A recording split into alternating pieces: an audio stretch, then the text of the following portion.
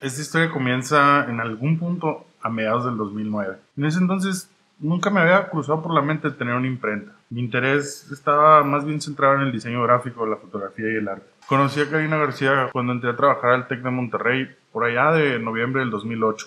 A ella le encantaba el diseño gráfico y las manualidades. Luego, luego nos hicimos mejores amigos. Durante el 2009, mientras seguíamos nuestra vida de godines en el TEC, Cari y yo teníamos una muy buena sinergia. Ella tenía ideas y yo investigaba cómo ejecutarlas. Y un día, mientras ella veía un blog, me preguntó, oye, ¿cómo hacen esto? Eran unas invitaciones con un evidente bajo relieve y color. Rápidamente investigué y descubrí por primera vez lo que era el tipo de impresión que se llama letterpress, pues se hacía con cierto tipo de máquinas antiguas. Esa fue mi primera revelación. Cari comenzó a interesarse mucho en este tipo de impresión. Ella quería imprimir invitaciones que tuvieran ese efecto. Buscó con afán en eBay y consiguió una Dana 8x5. Se la enviaron desde Inglaterra. Mientras esperábamos a que le llegara la pequeña prensa, conseguimos insumos para imprimir, conseguimos placas, conseguimos papel y conseguimos tinta. Me acuerdo que una de las preguntas que le hizo el proveedor de placas a Cari fue, oye, ¿qué paso es la máquina que van a utilizar para saber qué distorsión darle?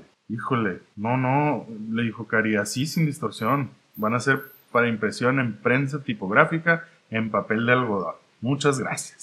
El grabado que mandamos a hacer era un diseño con el nombre que ella había escogido para su negocio, Papelina, y mi nombre como artista o fotógrafo, Enrique Woodfolk. Se llegó el día de la prueba y pues intentamos de muchas maneras lograr una impresión en bajo relieve y no, no logramos ni siquiera descifrar dónde se debía montar el grabado. En nuestra inmensa ignorancia la montamos en las piezas de madera que venían con la prensa, o sea, lo que se llama en inglés furniture o en español fornitura. Bueno, no logramos nada que se pudiera haber considerado una impresión medianamente decente. Fue un baterete que después no sabíamos ni cómo limpiar. Después de esta gran decepción, como buenos neófitos, le echamos la culpa a la máquina y no a nuestra falta de conocimiento. Yo por mi parte decidí investigar más. Dije, voy a leer en internet todo lo que encuentre. Empecé a leer diario. Buscaba videos, foros, cualquier cosa que se me atravesara.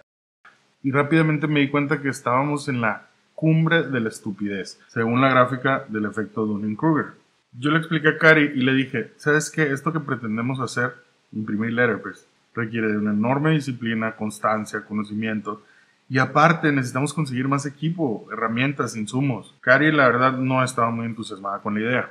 Pues un día de agosto del 2010 íbamos por la calle Tapia cuando vimos una hermosa prensa en el ventanal de un negocio de máquinas. Nos bajamos para verla en persona y preguntar y sin regatear ni cuestionar el precio les dijimos que estábamos interesados y regresábamos al día siguiente. Jamás habíamos inspeccionado una máquina ni sabíamos en qué fijarnos. El novio de Cari, Oscar, se la compró y se la dio como regalo de bodas. Ellos se iban a casar apenas en marzo del 2011. Y pues aprovechando el regalo de bodas adelantado, nos apresuramos a resolver la logística para llevarla a casa de los papás de Cari, donde la prensa pues estuvo básicamente un año. En el tiempo que pedimos los rodillos y que ajustaban algunas piezas, Cari mandó pedir a Estados Unidos muestras del papel algodón de la marca Coin Letra. Todavía no teníamos resuelto el tema de las placas, pero aprovechamos una caja de grabados que nos habían incluido con la compra de la prensa y empezamos a hacer pruebas. Ya con el papel correcto y una prensa mucho más fuerte, hicimos varias pruebas y por fin obtuvimos un notorio e inconfundible bajo relieve en el papel de algodón. Quedamos maravillados y convencidos. Y bueno, era septiembre del 2010. La idea de armar el taller, yo fantaseaba con ella, pero simplemente no era una realidad para mí. Yo me iba a regresar a Hermosillo en diciembre y ya, se acabó, dejaba Monterrey atrás, me quería ir finalmente a Nueva York a probar suerte como artista. Cuando se llega diciembre, Cari me lleva al aeropuerto y nos despedimos, ella lloró, digo, en parte porque me iba a extrañar, pero también porque para ella significaba no va a estar mi amigo en el proyecto del taller de impresión que me estaba ayudando y lo voy a tener que hacer sola.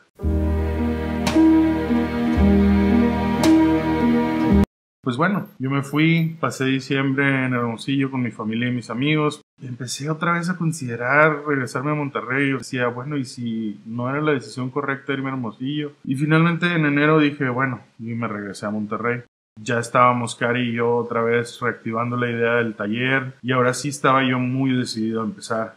Nos decidimos por la tipográfica porque era algo así como neomexicano y pues simplemente nos gustó. Luego yo pasé todo el verano recorriendo el centro de Monterrey, centímetro a centímetro, todas las imprentas que pude encontrar, tocando puertas y buscando sacapruebas y tipografías de madera.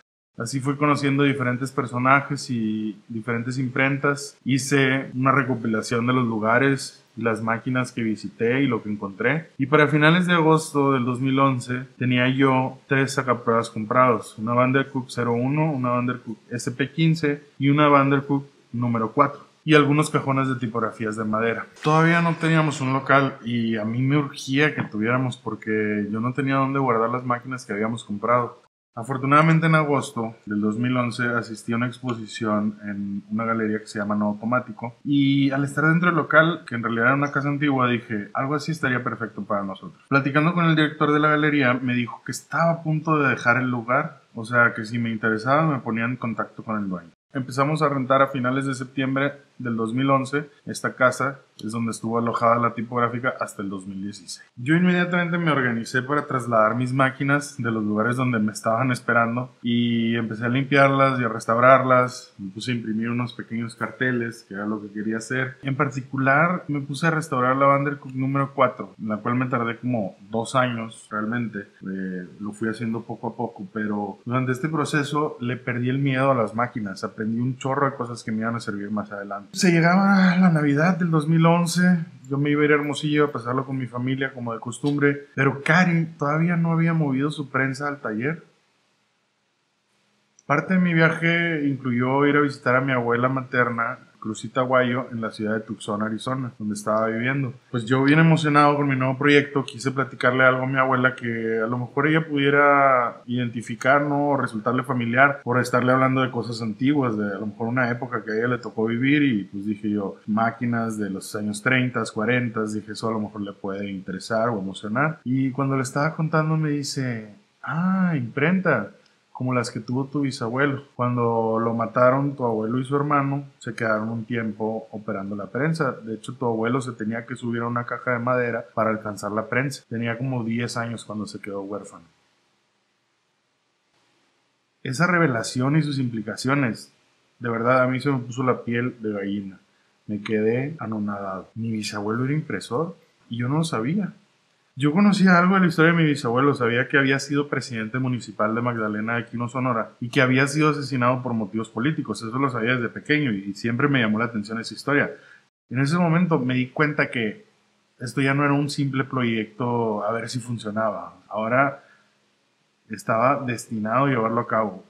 Pocos días antes de Año Nuevo, hablaba con Cari por teléfono y me dio la noticia devastadora de que no iba a seguir con el proyecto. Me dijo, ya está a punto de nacer mi hijo y me voy a dedicar a ser mamá. Y bueno, pues lo primero que vino a mi mente fue, nos queda casi un año de renta por delante en el contrato. El proyecto aún no es negocio y voy a tener que resolver cómo pagar la renta completa yo solo. Obviamente dividido entre dos, pues era más fácil, pero lo que yo quería hacer, los pósteres, pues no era algo así como particularmente comercial y pues vaya, o sea, no es algo con lo que uno fuera a hacer mucho dinero. Y bueno, regresé a principios de enero a Monterrey, muy preocupado, dije, lo primero es, tengo que seguir con el proyecto y tengo que tener una máquina o una prensa de producción. Con las Vandercooks que yo tenía no iba a ser suficiente porque son muy lentas. Y si yo pretendía hacer trabajos como tarjetas de presentación y aunque no me encantara la idea, invitaciones de boda, iba a necesitar una prensa como la Craftman de Cari. Entonces le dije, ¿sabes qué? De esta deuda, eh, un dinero que me debía, eh, ¿por qué no me liquidas con la prensa? Me dijo que sí y me la llevé al taller. Nosotros ya habíamos, desde el 2011, desde agosto, habíamos registrado un domain, ya estábamos listos con un correo, una página de Facebook y habíamos subido a la página de Facebook fotos de nuestras muestras, de lo que habíamos hecho. Y la gente nos pedía cotizaciones, estábamos aprendiendo apenas a cotizar. Pero el día 21 de febrero del 2012 recibí el primer pago de un anticipo de unas tarjetas de presentación. Ya tiempo después dije, ese va a ser nuestro aniversario, porque pues realmente no tuvimos nunca un día de inauguración, Ese año creo que tuve en total unos seis trabajos, fue un año sumamente difícil. Estaba pagando yo la renta de mi departamento y, el local de un negocio que pues aún no se sostenía solo. Todo lo pagaba yo con mis trabajos como diseñador gráfico freelance. En marzo decidí tomar la invitación de una amiga mía de irme a unos meses al DF a trabajar en una serie de televisión como diseñador gráfico. Y la verdad es que la paga era muy buena, entonces así podía regresar con dinero para invertir en mi taller que todavía necesitaba muchas Sin embargo, después de estar unos meses allá, Después del verano regresé con muy poco dinero, pero pude conseguir más tipografías de madera. Y para mí representan un gran tesoro porque creo que son parte de la historia de la gráfica popular mexicana. Son tipografías que fueron creadas por la imprenta Payol en el DF y que se utilizaban para los carteles de lucha libre. Por ahí existe una versión digital que lleva el nombre de Luchita Payol y que creó el diseñador Enrique Oyervides a partir de especímenes directamente impresos con esos tipos. Durante mi estancia en el DF la verdad no pude dejar de pensar en que tenía que averiguar todo lo que pudiera de la historia de mi bisabuelo y su imprenta. ¿Cómo es que nadie de mi familia me había contado antes de eso? O a lo mejor me habían contado y mi mente nunca lo registró, quizás. Comencé investigando en internet. Una de las fuentes que encontré que hablaba de él era Sonora Mágica, de Francisco Luis Bustamante, quien es cronista e historiador de Magdalena y de Sonora en general, pero radica en Hermosillo. En sus artículos mencionaba que mi bisabuelo Enrique había tenido un periódico. Para mí eso era una nueva pista a seguir. Tuve algo de correspondencia con él hoy y me contó que escribió un libro que se llama El crimen de los periodistas Clark y Woolford, y es precisamente acerca del asesinato de mi bisabuelo. Estaba a punto de imprimir más porque la edición se había agotado. Yo rápidamente le pedí a mi mamá, que vive también en Hermosillo, le dije, cómprame unos ejemplares en cuanto puedas. Y a lo mejor al mes o dos meses, durante julio, me llegó el paquete con el libro. Eh, lo devoré en menos de una hora. Y empecé a tejer nuevos datos con los que ya tenía yo, a escribir nuevas fotos. Algo que de inmediato me llamó la atención fue que en la portada del libro utilizaron una fotografía que yo conocía de mi bisabuelo, pero no era exactamente igual. Alguien tuvo la idea de censurar o retocar la imagen de mi bisabuelo, específicamente una parte donde trae un reloj de bolsillo y trae una cruz suástica en la foto original. En esta versión está editada, eh, no sé, posiblemente pensaron que la suástica necesariamente era un símbolo nazi en la foto y podría ser ofensivo para la gente, no sé, o controversial. Pero bueno, mi bisabuelo fue asesinado el 3 de octubre de 1928, por lo cual hubiera sido prácticamente imposible que él fuera un simpatizante nazi. Lo que trae ahí es una leontina para reloj de bolsillo con una suástica como símbolo de buena suerte.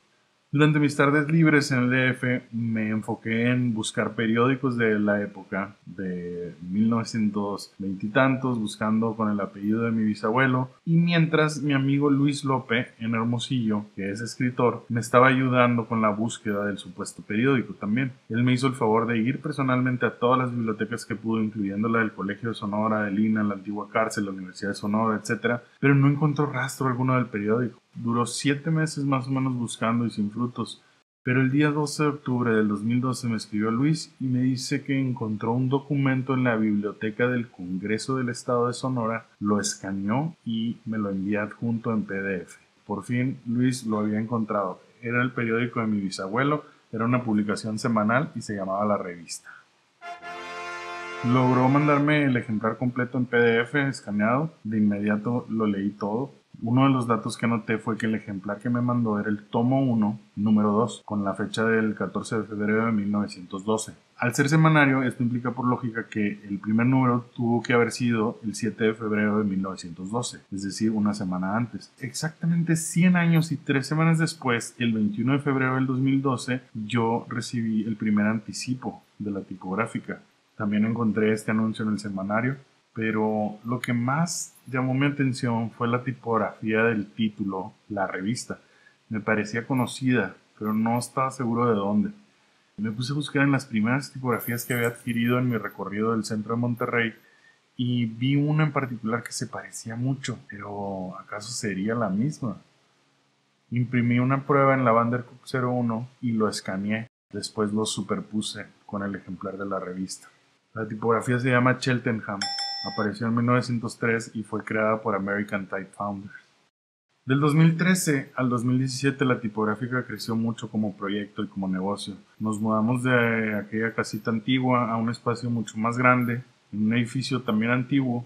Pasó el tiempo y en el 2017, como ya es costumbre, iba a pasar la Navidad con mi familia y decidí aprovechar el viaje para una especie de peregrinaje a Magdalena, a buscar algún vestigio de lo que fue la imprenta de mi bisabuelo. Me acompañó mi papá y mi hermano. Estando allá, con la ayuda de mi tía abuela Carmen Aida, y gracias al conocimiento que ella tiene de la historia y la gente del pueblo, pude entender un poco mejor cómo fue el proceso de cambio de manos de la imprenta de mi bisabuelo.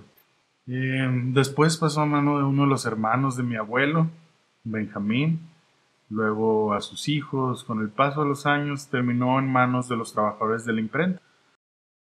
Pero bueno, yo estaba empeñado en conseguir algo. Me comentaron que dentro de la casa deshabitada tenían todavía algunas tipografías de la imprenta. Se reavivó mi esperanza. Entramos y efectivamente tenían tipografías muy antiguas de madera.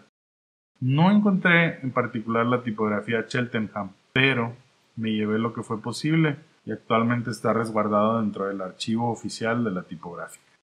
También pude hacerme por medios un poco cuestionables de un letrero de la calle que lleva el nombre de mi bisabuelo.